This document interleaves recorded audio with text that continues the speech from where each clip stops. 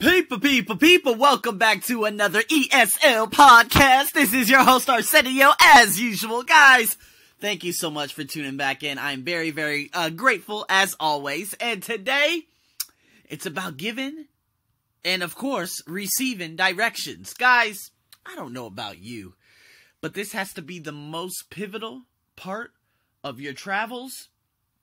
And of course, in terms of developing your confidence. That's right. If you can give thorough instructions to somebody, oh yeah. You know how much your confidence will go up? Let me give you an example. Now, the first example, I was sitting on a beach. You know, there I had my friend Mook, who should be coming onto my podcast soon, had her on my left. I had another guy from North Carolina on my right. We were looking off into the sunset, and these two guys were in the water singing Backstreet Boys. And I said, Are they singing Backstreet Boys? She said, Yes. I said, What? She said, Yes. I said, What? And they came up and we started talking, and this other guy came. He was from Santiago, Chile. And he came up and he started speaking Spanish to someone. And then I realized the guy from North Carolina I came with, who was only the age of 20, he spoke fluent Spanish.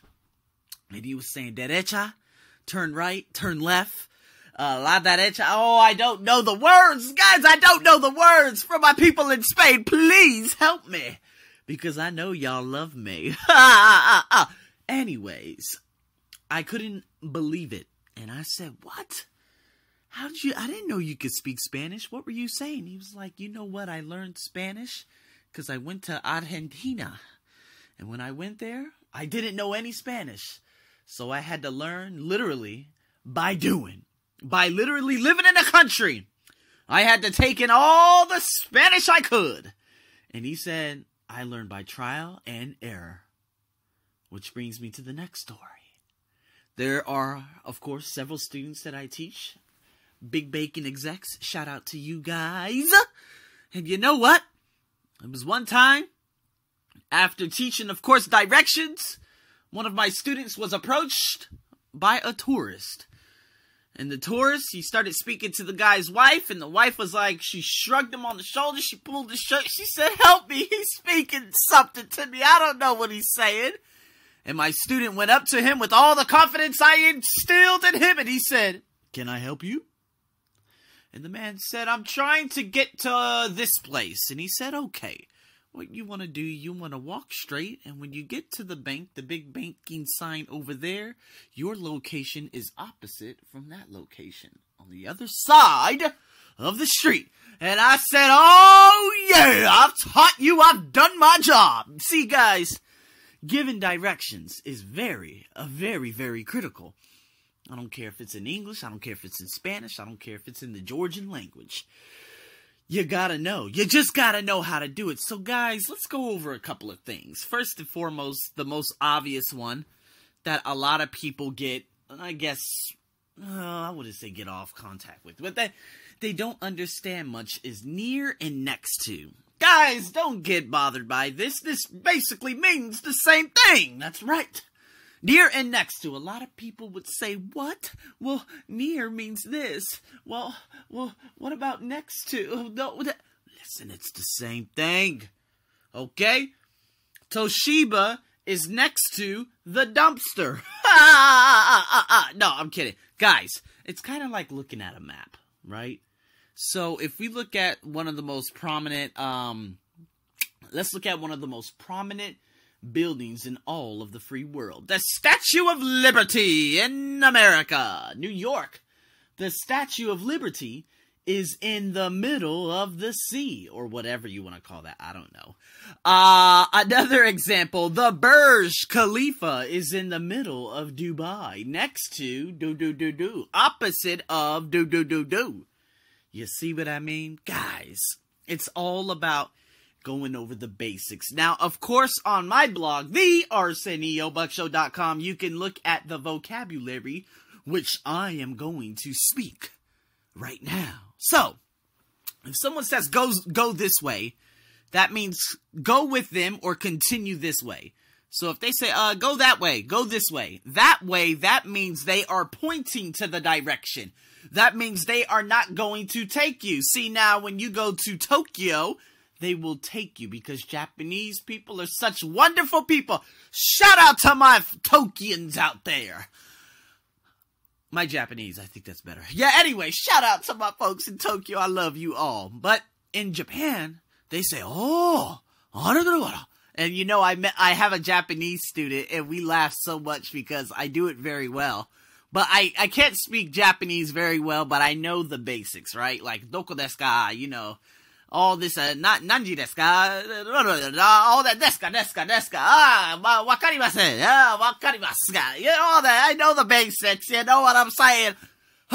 Anyways, let's focus. In Japan, they take you. But if you go to like Morocco, they might not take you. Maybe they will, I don't know. If you go to Sudan, I don't know. If you go to Yemen, I don't know. Okay, now a lot of you are like, oh, now you're going crazy. Yemen, no, guys, just, I'm telling you. If they say go that way, they mean go walk towards that way. Walk in that direction. If they say go this way, that means they are showing you at a very close range. Oh, you know what? You could go this way. When you get to the McDonald's sign, turn right. The location of the library will be on your right hand side next to the post office. Boom! Walk up, walk down. Guys, do not get thrown off by this. Walk up is almost an idiom. Why? Because you cannot walk up into the sky. All right? Now, a lot of you get confused. A lot of you say, wait, what does that mean? Walk up the road. You can't walk up the road. The road isn't in the sky. I know. You just have to take us for our uh, our silliness in the English language. When I say walk up the street, that means walk up that way. That means go this way. Walk down is the opposite direction. Please remember this. When I say walk up and you look in the sky, smack yourself. You cannot do that. Walk down, you cannot go into the ground. now, that was a very, very important task. Now, for the native English speakers who give suck puck bad, bad, bad, oh, bad directions, shame on you guys, because you're supposed to say walk up the street, walk down the street. If you just say walk up that way, that is completely incorrect, and you should have all English language removed from your brain. Okay? Period. All right, so let's go into the next one. Oh, I'm so crazy today. Follow this street until you see a. Mm. Follow this street. That means keep going on this street. Follow this street. Keep going on this street. Go this way. And when you see the bar, you will see the bar. right? It will be opposite. It will be next to. It will be in between. Huh? in between. It will be behind. Yeah, you see that? It will be in front of. Those are some things that you, in vocabulary terms, you should remember. Go straight or keep going straight. If I'm walking in one direction and I feel that I am getting lost, and I say, Excuse me, where is this place? they will say, Oh, just continue on. Just keep going straight. Just keep walking straight. These are different variations of given directions. Keep them in mind. Turn left, turn right. Walk for about, now Thailand, they say leo qua, leo sai. In Spanish, they say something derecha. I kind of forgot. I'm sorry. In Japanese, I do not know. But you guys, I'm, I'm teaching English. So here we go. Turn left Take a right. That means the same. Take a left, turn left. Take a right, turn right. Walk for about five minutes. Now, I don't trust people when they do this. I don't. Because if they say, oh, just walk for about another 10 minutes. But what if I walk fast? And I walk past it because I get there in five minutes. See? Uh uh-uh, uh I don't like it. So what I would do, I would say, walk for about 10 meters, walk for about 50 meters. Yes, I know, I'm sorry, America. Walk for about 20 feet, 30 feet, 50 feet, 100 yards. I don't know. I don't do the metric system anymore. I'm on the rest of the world scale. So, meters, baby, meters. So, It will be on your left. It will be on your right. It's on Sukhumvit. So a lot of Thai people, oh my god, like I, oh my god, like I, oh my god, all you folks out there in Nakhon Pathom and all those places, stop! Stop telling people locations in terms of streets.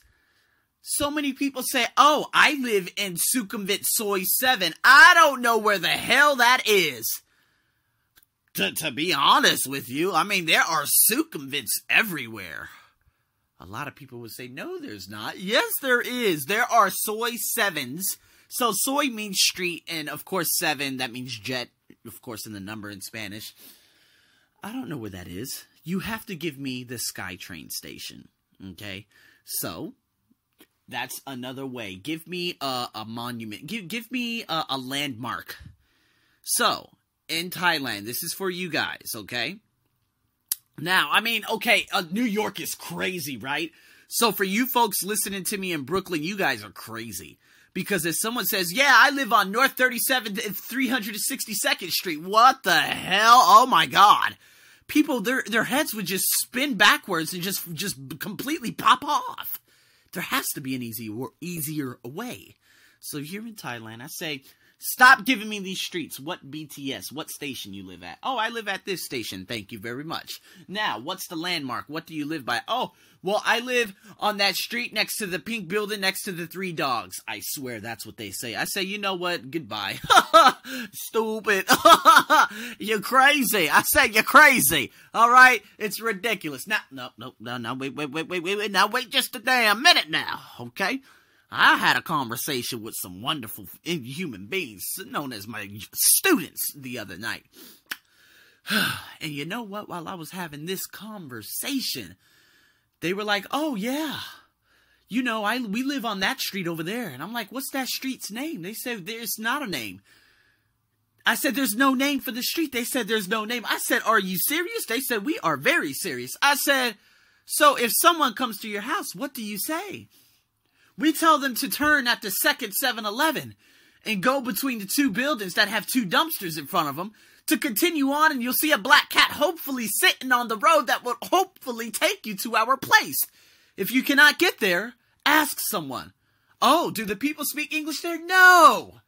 Okay, I'll get lost, and then I'll go home, and I'll never speak to you again.